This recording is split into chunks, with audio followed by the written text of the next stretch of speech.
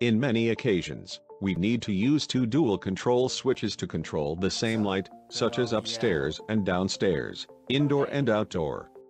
So you can use two switches in two different positions to control the same light. Today we first show you how to use two dual control switches to control the same light. Let's demonstrate below. Press switch K1, the light is on. Press switch K2, the light is off.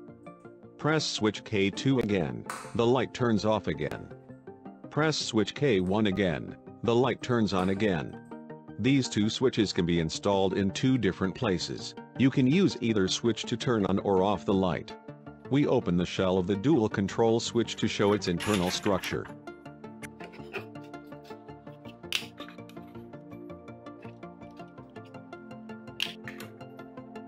Each dual control switch has three terminals, L, L1, and L2.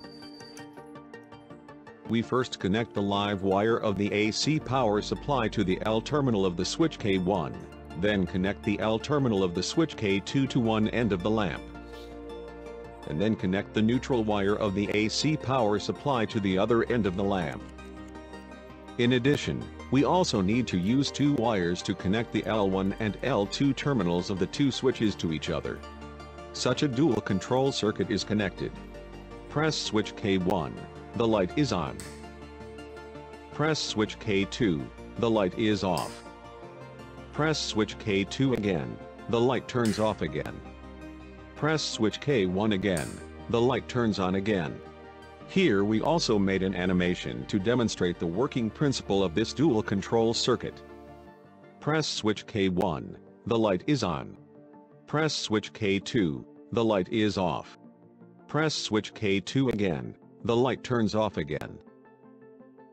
Press switch K1 again, the light turns on again.